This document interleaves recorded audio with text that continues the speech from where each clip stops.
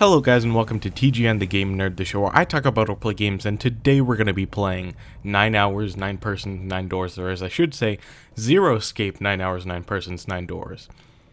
In the last episode, if you don't remember, we went ahead and got our third ending, the submarine ending. And it wasn't a very happy one. It was quite the sad ordeal. Pretty much everyone died, except for one person, seemingly, because we thought we'd seen everybody's corpse, but it turns out that there was someone still there who stabbed us in the back, both metaphorically and literally.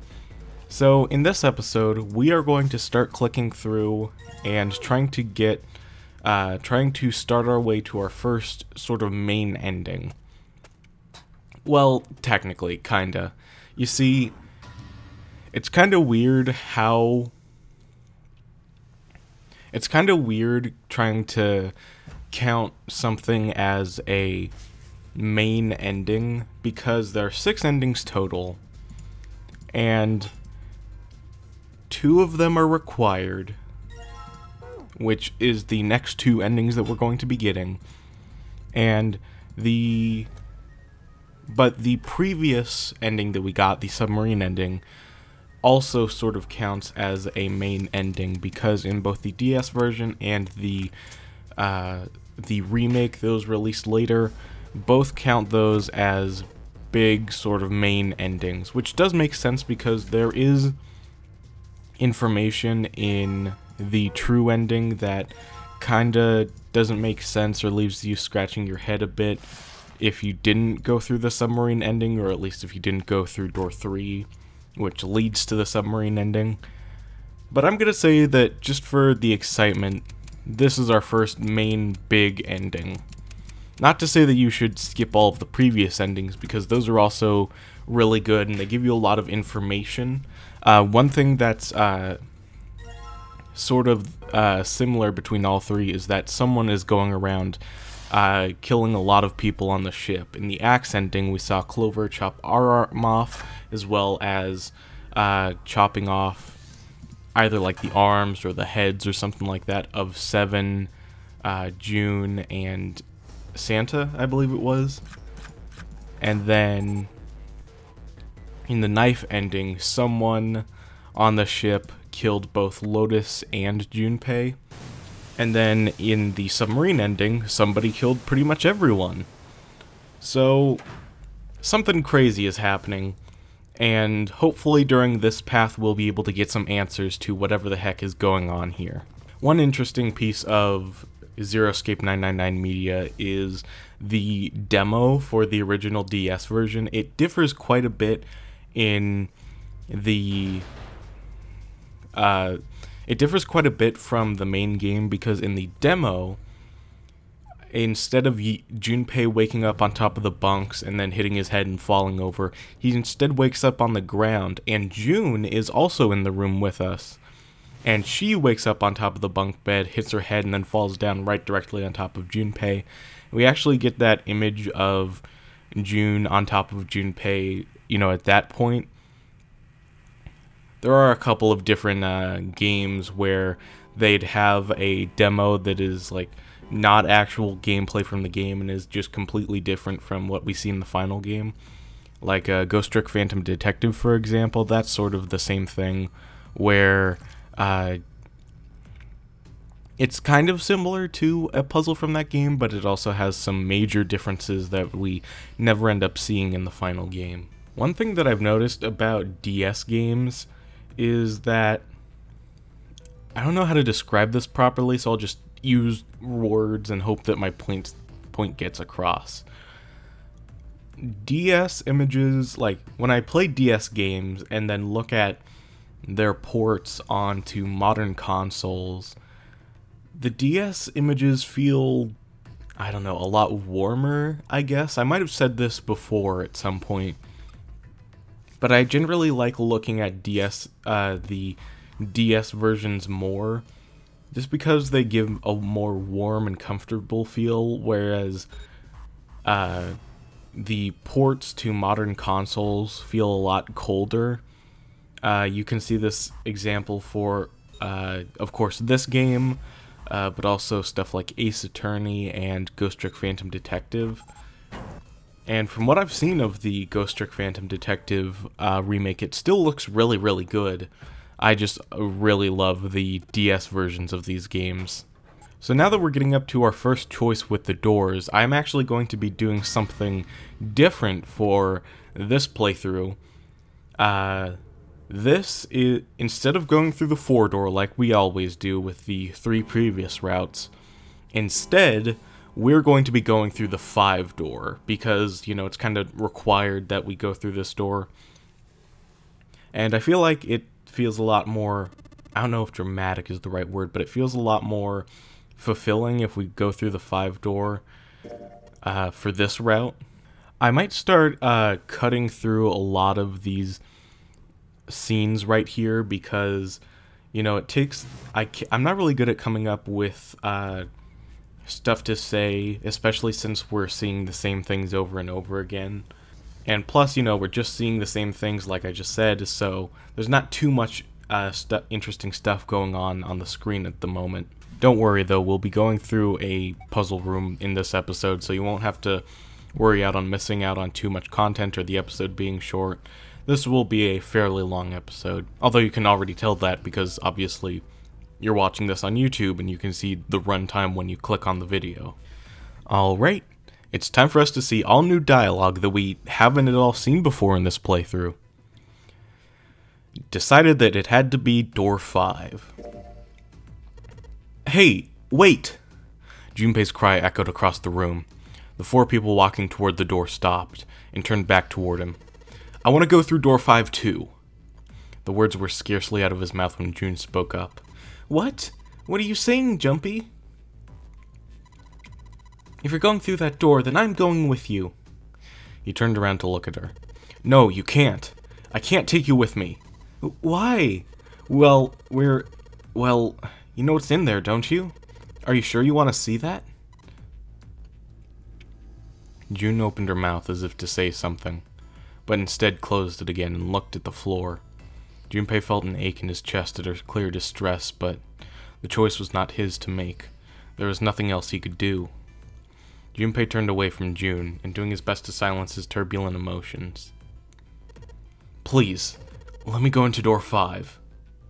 Seven scratched his head and looked at the young man. Man, now we're right back where we started, you know that? Junpei's bracelet is five, right?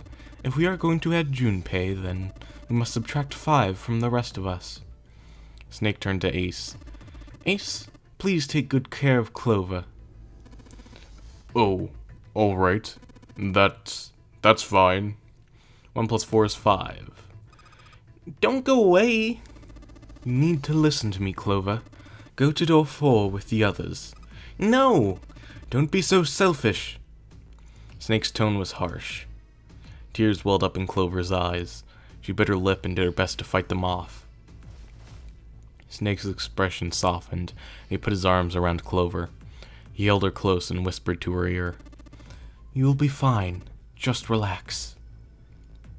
It looked as though he whispered two or three more words, but whatever they were, Junpei couldn't hear them. He couldn't help but wonder what the other man had said. Snake pulled back from his sister, his eyes kind and inquiring. Okay, I understand. Her voice was barely audible from where Junpei stood. Before long, new teams were assembled. Those going to door 5, 7, Snake, and Junpei. 7 plus 2 plus 5 equals 14, 1 plus 4 equals 5. Those going to door 4, Lotus, Santa, June, Ace, and Clover. 8 plus 3 plus 6 plus 1 plus 4 equals 22, 2 plus 2 equals 4. Seven, Snake, and Junpei scanned their bracelet, their numbered bracelets in quick succession. The screen of the red showed three asterisks. Alright then, let's go. Junpei glanced around one last time, his hand resting on the lever of the red. Okay, please be careful. Concern was written plainly across her face. Junpei looked her in the eye and gave what he hoped was a reassuring nod. He pulled the lever.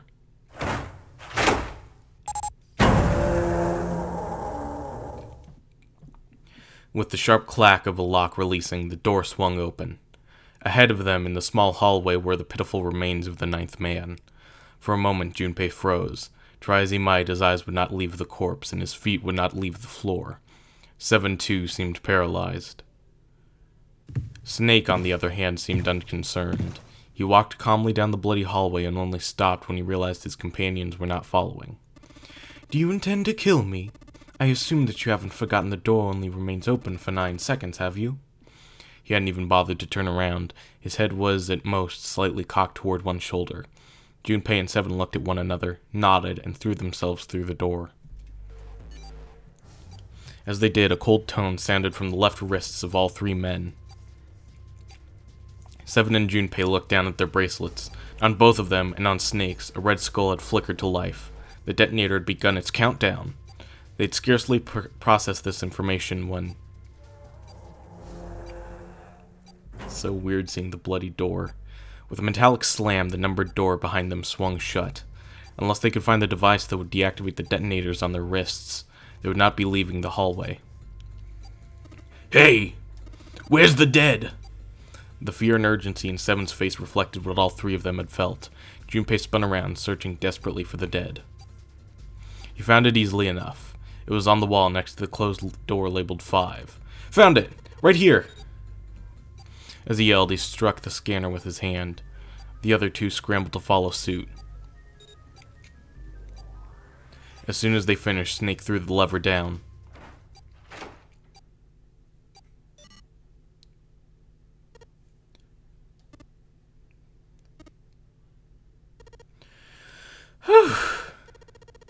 well, it looks like it stopped.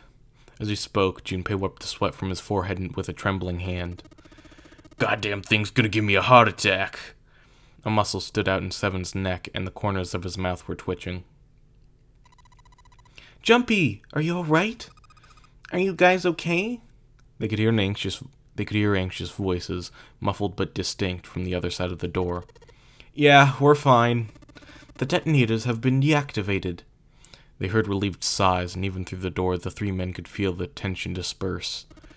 Alright, we're moving on. Be careful, okay? Oh, okay. Sure thing. They heard footsteps moving away, and before long they were alone again. Junpei looked around. The hallway hit a dead end 20 or 30 feet from where they stood.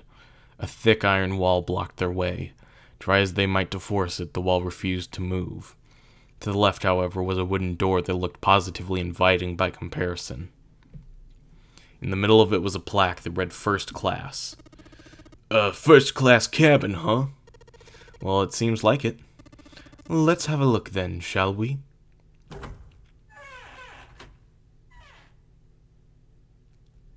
Without hesitation, Snake, Snake opened the door and stepped inside.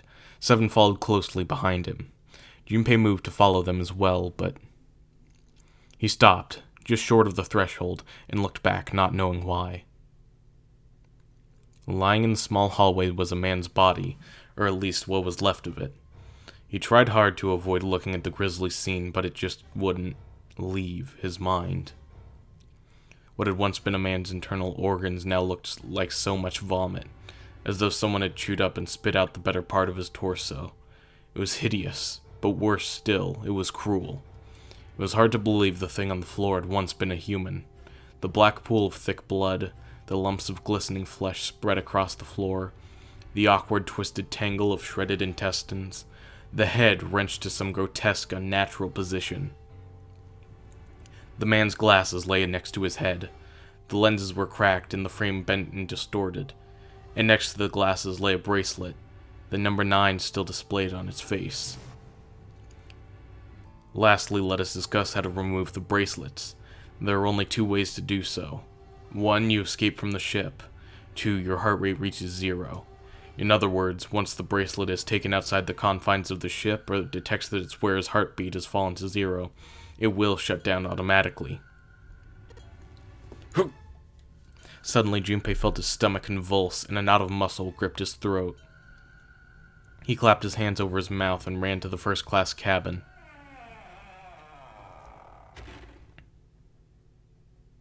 The atmosphere changed immediately.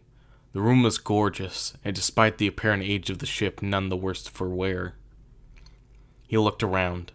Seven and Snake were nowhere to be seen. There were two doors on the right side of the room. He opened the one on his right and went through. On the other side of the door was a short hallway. He jogged down the hallway, opened the door at the other end, and peeked through. They were there, to his right, busy examining something. He stepped through the door and walked toward them. What's up? Check this out. We found this thing here on the floor. Door. We found this thing here on the door. The red light's on. Does that mean it's locked? So I would assume. Is there any other way out? We looked around a little. Other than this door, we didn't find anything. So you're telling me that unless we can open this door, we won't be going anywhere? Junpei stepped away from the door and looked around the room. The room they were in looked like a bedroom.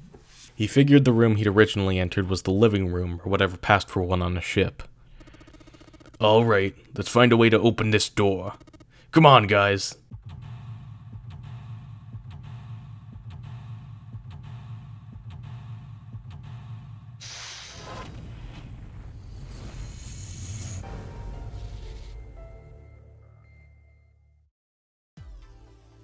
Alrighty, the first class cabin. Uh, first thing we want to go do is go ahead and check on this bed real quick. And we find a score plate, specifically an A score plate. I see. This feels like glass. A rectangular plate of glass. Is there something written on the surface? Yeah, it's a sheet of music with a couple of A notes. Just A's. Yeah, that's it. Kinda weird, huh? Transparent music score sheet, apparently made from glass. It has a number on the a number of A notes on it. It took Junpei by surprise. Snake, usually so calm and collected, suddenly began to move. He stared about the room almost frantically, clearly looking for something. No, Junpei thought, not staring. After all, he's blind. Blind or not, Snake was clearly attempting to do something. At last, Junpei could no longer contain his curiosity. What are you doing? Snake waited a moment before answering. I heard something strange. Something strange.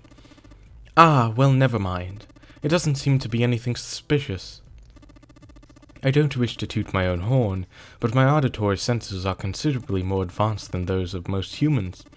I notice even the slightest of noises. Alright, are you going to tell me you can hear a needle drop from a mile away? Huh!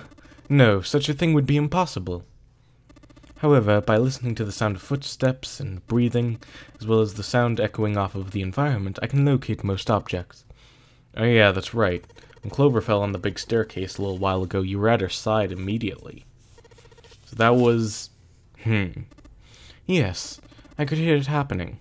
In fact, I can run quite fast certainly as fast as you.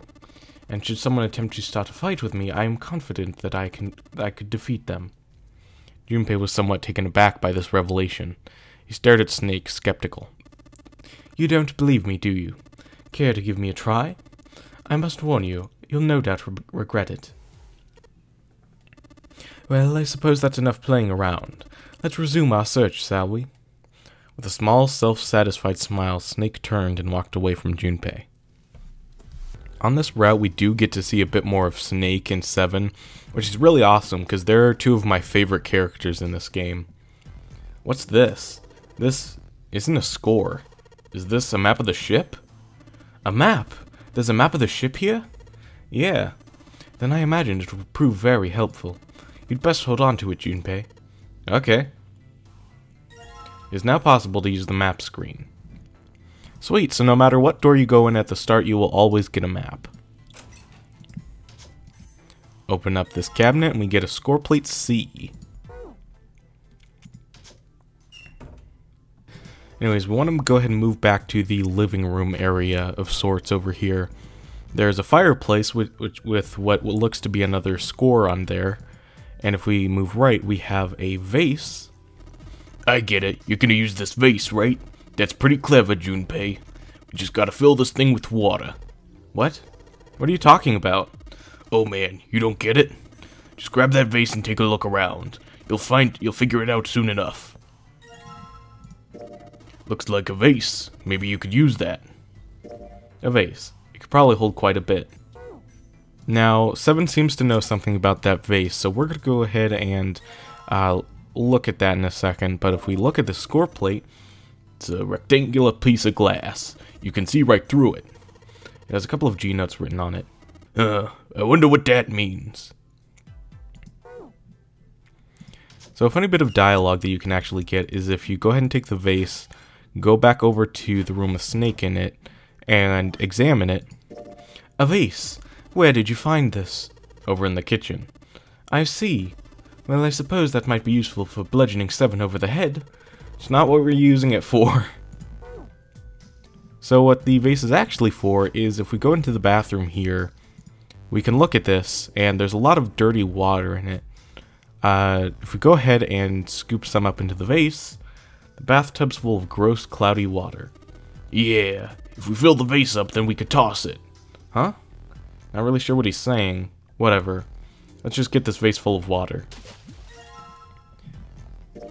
Hey, Junpei, what are you doing over there? Only one thing to do now that you got the thing full of water. Come on, what are you waiting for? Huh? Take what down? The vase is full of water from the bathtub. I actually want to go back to Snake's room again, because if you examine it... So, you filled the vase with water, have you? I assume you intend to dump it on Seven's head. Hmm, not a bad idea. Very well, I would appreciate it if you would put this plan into action post-haste. For some reason, Snake just really wants to murder Seven. I don't know why. I want to go ahead and dump the water into here. This is what Seven was talking about. Alright, time to put this fire out. About time, buddy. Let's do it. Here we go. Good job. Another success. That fire didn't stand a chance. Alright, I'll just put this out now. Don't want to get burned, so let's pull down the sleeves. Yeah, and we've got the score plate. It's a ceramic plate of some kind. It looks like a blank sheet of music. Sort of photo proto score on the ceramic plate. Looks like a blank sheet of music. As soon as Junpei tucked the plate into his pocket, Seven cried out and stumbled, his balance lost. He threw out a hand and caught the wall in time to steady himself and avoid the floor, but his face was flushed and he looked startled. Hey, Seven, what the hell was that? Are you alright? Yeah, yeah, I'm fine. I just felt a little dizzy, that's all. Seven rubbed a couple of fingers across his brow and then shook his head as if to clear it. What the hell's wrong with me? First memory loss, now I'm getting dizzy for no reason. Memory loss? Junpei couldn't hide the surprise in his voice. Seven, for his part, seemed unconcerned. Right, guess I haven't told you, have I? Told the rest of them, but that must have been before you showed up. Well, the long and short of it is that I don't remember Jack from before I woke up here. Didn't realize I hadn't told you. Whoa, whoa, wait a minute. You're talking about amnesia, right? Yeah, I guess so. Well, why are you an, amnesiac? What happened to you? If I do, if I knew that, I wouldn't really be one, would I? Uh, yeah, I guess that's true. Junpei paused for a moment and stared at Seven. Are you telling the truth? Huh? Well, you look pretty calm for somebody who doesn't remember anything. If you've really got amnesia, shouldn't you be, like, upset or confused or something? Well, sure, I mean, I was pretty confused when I woke up down on D-Deck, but uh, that was a while ago. I've had some time to get used to it. After a while, I figured it wasn't worth the trouble of worrying about it. After all, why worry about something I can't change? Well, people don't usually stay amnesiacs forever. I figure it'll work out itself out eventually. That's... that's it? That's it. Alright, that's enough talking for now. Let's get back to Wake. Seven gave Junpei a look that the younger man wasn't sure how to interpret, and turned to walk away. Somehow, though, Junpei didn't find his reassurances very reassuring. So that is something that's a bit different on this route, is that we actually learn about Seven's amnesia a bit early. And so later, when Seven talks about his amnesia, we won't be as confused. A music stand. Might as well put the music I found on it. Put the ceramic plate on the bottom, and the glass plates on top. Wait a minute. What's wrong? Well, I put them all on top of each other, but they look odd. It doesn't really look like a song. Hmm. Then in all likelihood, we haven't found them all. We need to find more glass plates. I always forget, whenever I'm playing through this game again, I always forget one. It's totally a table with a mirror. Ah, yes, you know, that sort of thing is known as a vanity. Were you aware of that, Junpei? Of course, vanity also refers to self-love, conceit, and narcissism. As such, you can say that every day, when a woman looks into one of these, she is staring at her own conceit and narcissism. Doesn't that strike you as terribly sad? Alrighty. Ah, right, I, I remember where the extra one is. If we go back into the bathroom and we pull this plug, there's a plug on the end of the chain. Alright, why don't we just drain this water? Yeah, good plan. Alright, where's that thing? Good tug ought to be enough to get it out. Huh? There we go, and I'm pretty sure that's the last one that we need. So we move back, and now we should be able to go ahead and... A music stand. Seems as good a place as any to put this music we found. Just gotta put the ceramic plate on the bottom. And then stack the glass plates on top of it. Alright, good. Sweet. Now I can play the music. Junpei, would you be so kind as to play the piano? I am unable to, you see. I'm sure I need, needn't tell you, but the keys on this piano are not what you might expect them to be. C won't be C, D won't be D, and so forth. You must listen carefully to determine which keys to strike. Do you understand? Yeah. Alright, let's give it a shot. So just like Snake said, the keys on this are a bit off. So if you want to know the order to press the keys to get the correct song, go ahead and just follow what I do.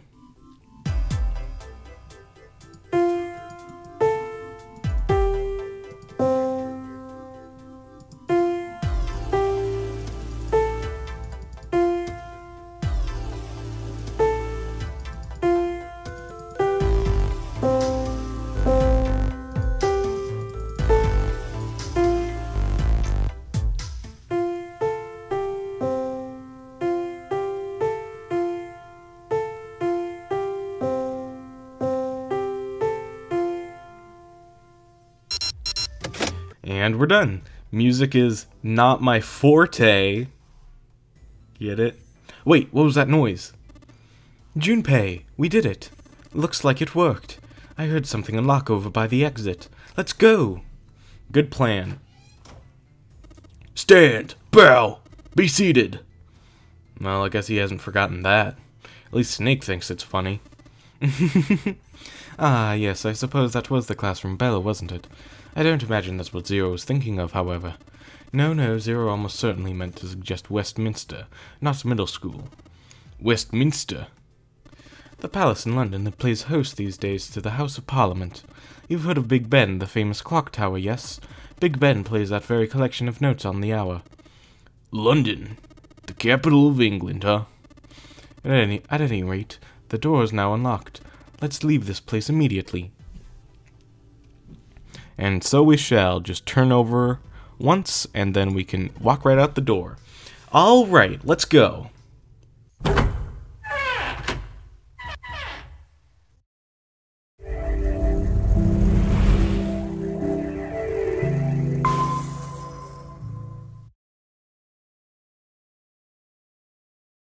And with that, we are going to end off this episode. Thank you guys so much for watching, and I'll see you guys next time. Goodbye.